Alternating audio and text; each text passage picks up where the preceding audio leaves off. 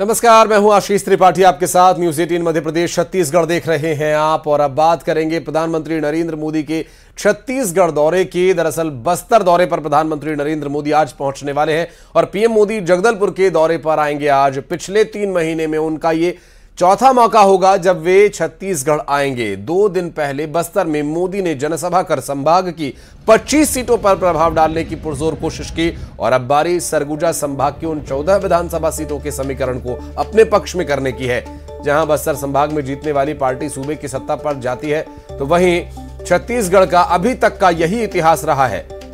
यही वजह है कि पार्टी पूरे बस्तर में ज़ोर लगा रही है। जगदलपुर में आयोजित होने वाली पीएम मोदी की रैली के लिए प्रदेश पार्टी के तमाम नेताओं को यहाँ पर ड्यूटी पर लगाए हुए पूरी पार्टी ने ताकत झोंक रखी है।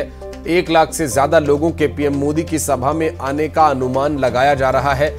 भारतीय जनता पार्टी जो कि परिवर्तन यात्रा निकाल रही है, परिवर्तन महासंकल्प रैली के माध्यम से इस यात्रा का ध्येय भारतीय जनता पार्टी अपने विचार लोगों तक पहुंचाएगी और सत्ता में आने का जो ये प्रयास भारतीय जनता पार्टी की तरफ़ से किया जा रहा है इसे सफल बनाने के लिए, इसमें और फोर्स डालने के लिए खुद प्रधानमंत्री नरेंद्र मोदी छत्तीसगढ़ आ रहे हैं। प्रधानमंत्री नरेंद्र मोदी, आपको बता दें, अब से कुछ ही देर बाद छत्तीसगढ़ में लैंड करेंगे। दरअसल आज उनका एक बड़ा और भव्य कार्यक्रम छत्तीसगढ़ में होना है, जो कि सरगुजा संभाग की लगभग चौदह विधानसभा सीटों पर सीधा सीधा असर डाल सकता है। और कार्यक्रम की तैयारियाँ लगभग पूरी हो चुकी हैं। एक लाख से ज़्यादा लोगों के यहाँ पहुँचने की जानकारी मिल रही है। बीजेपी की परिवर्तन महासंकल्प रैली के माध्यम से बीजेपी लोगों के बीच जा रही है और अब लोग इस कार्यक्रम में कितनी संख्या में पहुँचेंगे, इसका जो अनुमान है वो लगभग एक लाख बताया जा रहा है कि एक लाख के आसपास लोग यहाँ पर आने वाले हैं।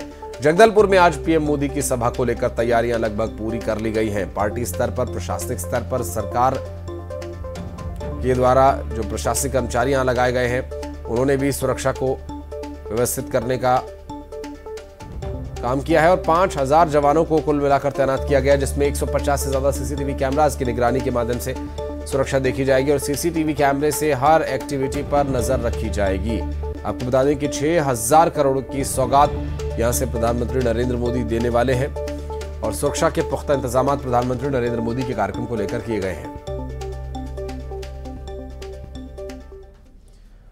और जगदलपुर के लालबाग मैदान में प्रधानमंत्री नरेंद्र मोदी आज एक विशाल सभा करने वाले हैं।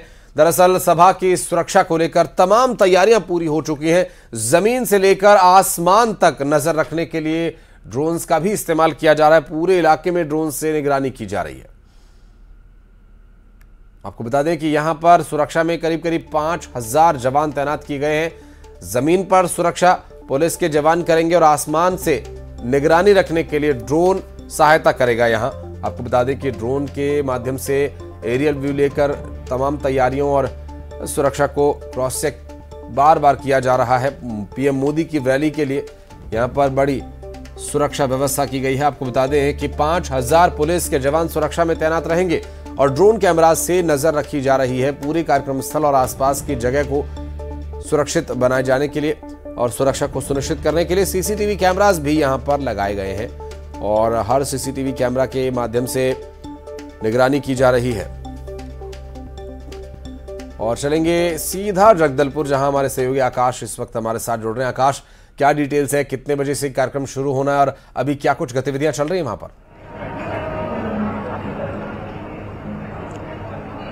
जी देखिए, प्रधानमंत्री ग्यारह बजकर पचपन मिनट पर जगदलपुर एयरपोर्ट से आएँगे और उसके बाद यहाँ पे दो सभा रखी गई है। पहला शासकीय कार्यक्रम है जो 11 बजे से शुरू होगा। उसके बाद 12 बजे से आम सभा को प्रधानमंत्री नरेंद्र मोदी संबोधित करेंगे। इसके लिए तमाम तैयारियाँ की गई है। सबसे पहले तो जगह जगह पर पुलिस तैनात है, जो सुरक्षा व्यवस्था का इंतज़ाम देख रही है। इसके साथ ही मंची व्यवस्था भी तमाम संभाले हुए है। प्रशासन से लेकर कार्यकर्ता भी यहाँ पर मौजूद हैं जो व्यवस्था को देख रहे हैं। यहाँ पर आप मेरे पीछे देख सकते हैं कि कुर्सियाँ लगी हुई है। करीब एक लाख से अधिक लोगों के बैठने की व्यवस्था है। सुबह से ही लोग यहाँ पर आने का सिलसिला शुरू हो गया। मोदी जी प्रधानमंत्री नरेंद्र मोदी का जिस तरीके से क्रेज है लोग जिस तरीके से उन आ, उनको मानते हैं उनको सुनने के लिए लगातार उमड़ रहे हैं। जी। बिल्कुल और चूँकि तैयारियाँ हम देख पा रहे हैं इस वक्त काफ़ी लोग वहाँ जुटे हुए सुरक्षा के भी पुख्ता इंतज़ाम किए गए ड्रोन से भी निगरानी की जा रही है। जी बिल्कुल। ड्रोन से निगरानी की, जा रही है। इसके अलावा डॉग से भी यहाँ पे जाँच किया जा रहा है ताकि किसी तरीके से सुरक्षा में खामी ना हो। लोगों के बैठने और देखने के लिए यहाँ पर एलईडी टीवी लगाए गए हैं जिससे अन्य लोगों लोगों को भी दूर से भी प्रधानमंत्री नरेंद्र मोदी को सुन सके। जी। आज करीब छह हज़ार करोड़ की सौगात पीएम यहाँ से दे सकते हैं। कौन कौन सी योजनाएँ हैं?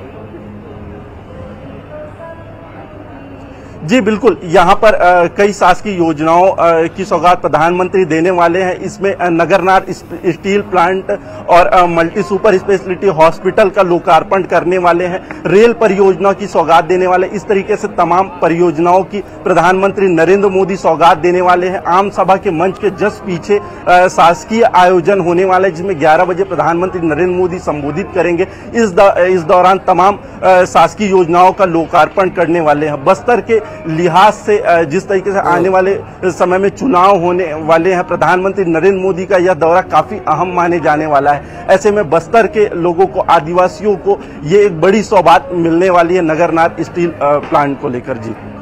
बहुत शुक्रिया आपका इस पूरे मामले पर जानकारी देने के लिए। और बढ़ते आगे आपको बता दें हमारे सहयोगी ने यहाँ पर जायजा लिया तैयारियों का क्या कुछ है तैयारियाँ कार्यक्रम शुरू होने से पहले की क्या थी तस्वीरें दिखाते हैं आपको। हम इस वक्त प्रधानमंत्री नरेंद्र मोदी जिस सभा को संबोधित करेंगे। उस मंच पर खड़े हैं। यहाँ प्रधानमंत्री नरेंद्र मोदी की लोकप्रियता आप साफ़ देख सकते हैं कि लोग सुनने के लिए 200 किलोमीटर दूर से यहाँ रात से आए हैं। कुछ लोगों ने खाना नहीं खाया है तो यहाँ पे मंच पर इसलिए बैठे हैं ताकि वो मोदी को देख और सुन सके। हम इनसे ही जानते हैं कि किस तरीके से मोदी जी को ये पसंद करते हैं। जी, आपका नाम बताइए पहले। मेरा नाम गौतम पाल है और मैं कापसी मंडल से हूँ पखानजोर कापसी मंडल से हूँ। आप लोग यहाँ रात से आए हैं प्रधानमंत्री मोदी को देखने और सुनने के लिए। जी। जी तो आ, किस तरीके से आ, उनको पसंद करते हैं आप? उनको तो हम मोदी मोदी जी को हम देवता के रूप से मानते हैं पूछते भी हैं। तो मोदी जो मोदी जी ने देश के लिए जो कर रहे और किसान के लिए जो कर रहे वो तो हम भगवान मानते हैं उनको। इनसे जानते हैं। मोदी जी में क्या पसंद है आपको? मोदी जी में सभी कुछ हम लोग को पसंद है। मोदी जी हर चीज़ की सुविधा दे रहे हैं हम लोग को। बैंक बैलेंस की तरफ़ से भी बोलोगे बैंक बैलेंस की तरफ़ से भी हम लोग को सुविधा दे रहे हैं। अगर बोलोगे भत्ता भत्ता की तरफ़ से भी सुविधा है। अगर कोई गरीबी रेखा का कार्ड है उसमें भी सब कुछ सुविधा हम लोग को। हर एक तरफ़ से हम लोग को सुविधा दे रहे हैं मोदी जी। और हमारे तरफ़ से तो मोदी जी भगवान है। प्रधानमंत्री आवास योजना की बात करें या केंद्र की तमाम योजनाओं की क्या लाभ मिल रहा है आपको पीएम आवास का? जैसे की शौचालय अभी फ़िलहाल छत्तीसगढ़ में हमारे प्रधानमंत्री आवास तो पाँच साल में कुछ नहीं मिल पाया है। अभी तक उनका कोई बजट भी आया था लेकिन वापस हो गया। आपका कहना है कि मोदी जी की तरफ़ से केंद्र सरकार की तरफ़ से राज्य सरकार की तरफ़ से योजनाओं का लाभ आपको नहीं मिल पाया कि फिर आप कैसे उनको गुरु मान रहे हैं? क्या पसंद करने का कारण हाँ। क्या है? अब देखिए ये देश में जो भारत देश है इसको आज जो स्थिति है भारत देश का वो बहुत ही मज़बूत किया गया है उनके कार्यकाल में। देखिए सबके अपने अपने व्यू हैं किसी को योजनाओं का लाभ मिला है तो आ, कोई मोदी को व्यक्तिगत रूप से बहुत पसंद करते हैं इसलिए वो देर रात से आए हैं और सुबह से ही मंच पर बैठे ताकि मोदी को दे प्रधानमंत्री नरेंद्र मोदी को देख और सुन सके। कैमरामैन श्रीनिवास के साथ आकाश शुक्ला न्यूज़ एटीन जगदलपुर।